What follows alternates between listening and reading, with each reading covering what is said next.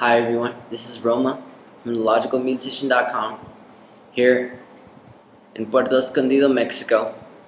Now, this video today, I'm going to show you guys how to make samples and import them to your mix into Logic. Um, what I mean by samples is getting any sound that you hear on the internet, if it's not copyrighted of course, and obtain them, record them, and put them in your mix. Now, you're going to need to download two programs. One called Soundflower. Let me show you guys what that looks like. Now I'm using a Mac, so I'm going to download Soundflower for Mac. This is where I downloaded my Soundflower program from. Okay, you're going to want to download Soundflower. And a second program called Audacity. Audacity is a free recording program, so you guys don't have to worry about buying anything.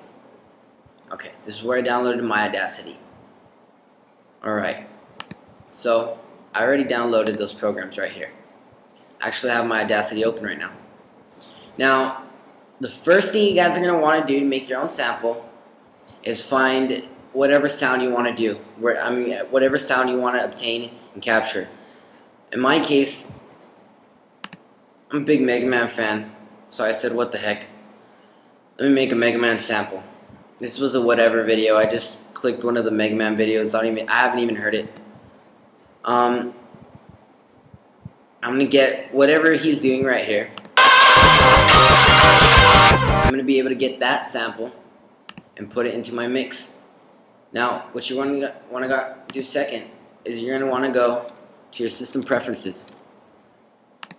Now, when you go to your system preferences, I want you guys to go to your sound, and you're gonna click Soundflower.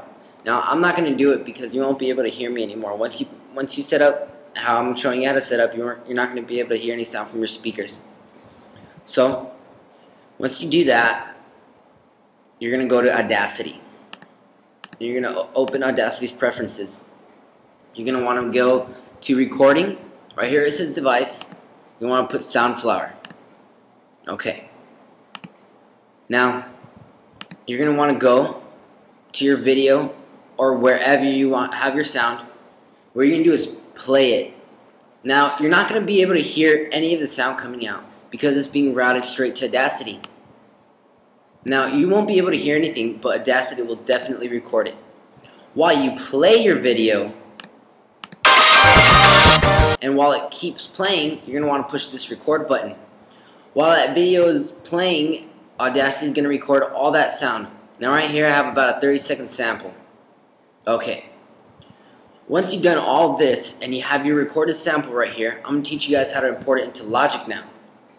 Now, what you guys want to do, you're going to want to go to Export as Wave. Now, I already saved my Mega Man file. You're going to want to name it what you want. Okay, save, blah, blah.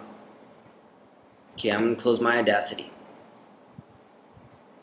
No, don't want to save it. Okay, I'm going to close this right here. Now I'm going to open Logic for you guys. Let's go to new.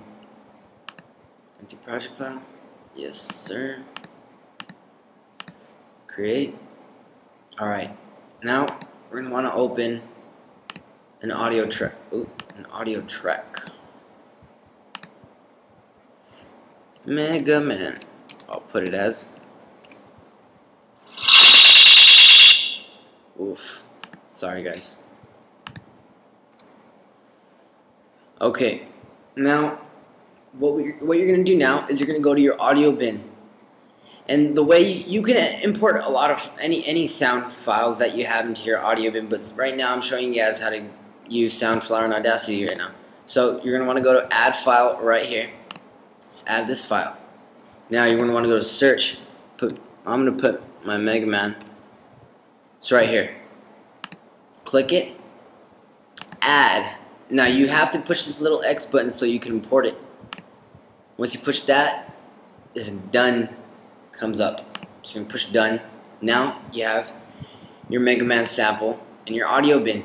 Now what you're going to just do is you're going to get it from here and drag it right here. Now let's see how this sounds.